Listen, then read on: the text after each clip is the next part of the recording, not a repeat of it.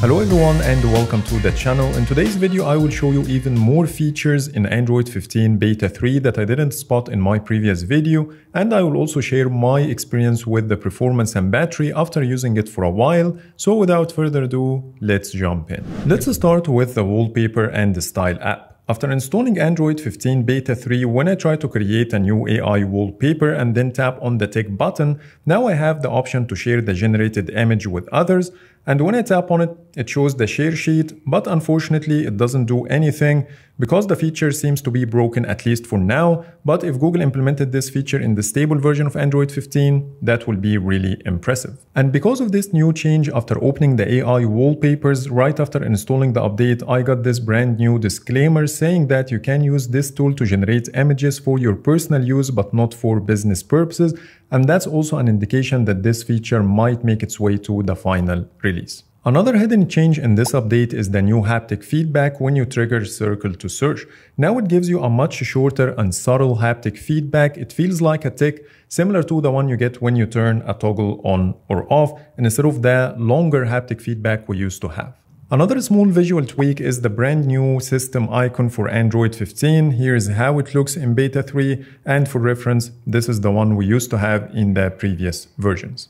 Now let's talk about the notifications. In my previous video, I showed you a new animation for the pop-up banners when you receive a new notification, but Google also updated the animations inside the notifications shade. So let me show you a couple of examples. As you see here, when I expand or collapse, it feels like a two-stage animation when compared to the previous versions. For example, when I expand this one, you don't see the same behavior like on Android 15 Beta 3. And it also looks different when you dismiss any of these notifications. In Android 15, it's a little bit smoother when compared to the previous versions. One last change I'm going to show you in this video, if you have any of the accessibility shortcuts activated and then try to drag it, you will see two drop targets at the bottom instead of only one. Previously, we used to have that dismiss option only, but now we got this brand new edit drop target and when you drag it over this one, it will take you right away to the accessibility menu shortcut settings page. So that's it when it comes to the hidden features in Android 15 Beta 3. Now let's talk about my experience with the performance and battery after using it for a while. Starting with the performance, I'm really impressed by how snappy and responsive is my Pixel 8 Pro after installing Beta 3, either in scrolling, opening, closing apps, or anything in between. Also, the thermal management seems to be better. I did a Geekbench score and I got 1727 for the single core and 4047 for the multi-core.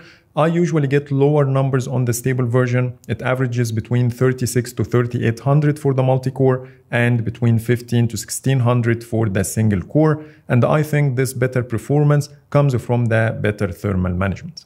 When it comes to the battery life, I found it to be much better as well. So let me show you my current usage. I have 4 hours and 23 minutes of screen on time with 63% battery remaining which is something new to me on the Pixel 8 Pro. And as you see here, I used WhatsApp, Geekbench, Photos, uh, Facebook, YouTube, Keep Notes, and so on. I used the phone only on Wi-Fi, no cellular data, but these numbers are still better than the stable version. Moving to the bugs, I didn't spot any minor or major bugs so far. Everything works exactly as expected and it's even better than the stable version of Android 14, but keep in mind that my experience is only based on this specific model. So if you have the Pixel 8 Pro, this build is definitely good enough for your daily driver if you want to try the new features of Android 15. So that's pretty much it for today. Those are the hidden features I wanted to show you in Android 15 Beta 3. Please let me know in the comments if you spotted even more. But for now, thanks much for watching and see you in the next video.